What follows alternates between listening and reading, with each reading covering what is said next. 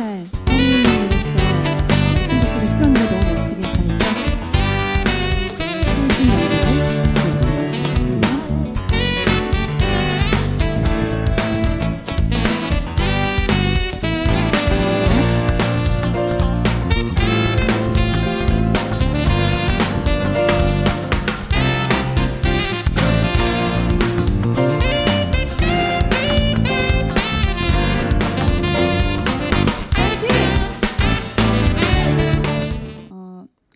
진욱 오빠와 어, 커플 커플이 아닌 그런 어떤 love line을 연기를 했었는데요.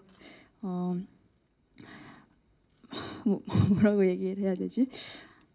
막 떨리진 않았습니다. 최대한 아 너무 설렌다라고 제 스스로 노력을 많이 했고요. 네.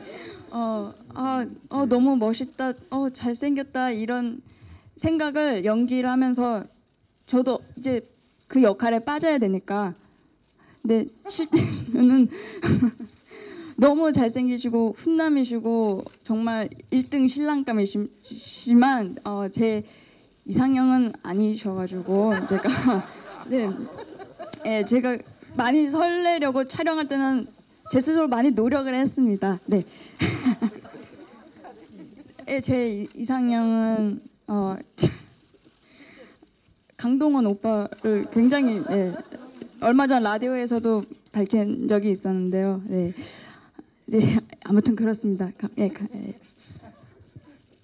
네, 제가 이 질문에 참 많은 대답을 준비했는데 네, 대답에 그 어떤 필요를 못 느끼네요. 네, 손에 땀이 나네요. 어쨌든 전 노력을 많이 했는데 제가 부족했던 걸로 마무리를 짓겠습니다.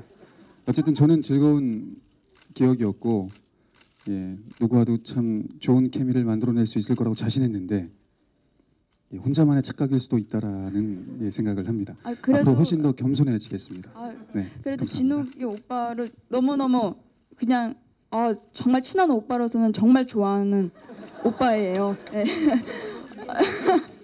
너, 사실 그 너무 제가 너- 진짜 너무 젠틀맨이시고 정말 제가 준비한 대답은 그 어떤 그 사랑의 어떤 케미를 만들어내는 그 로맨스를 만들어내는데 나이가 무슨 중요한 이유겠냐는 대답을 준비를 했었는데요. 그렇죠. 그러네요. 참 중요. 먼저 알아봐야 될 것은 내가 그 사람의 스타일인지 아닌지를 먼저 좀 알아보는 게 그 네 좋은 거 하나 배워가네요. 감사합니다.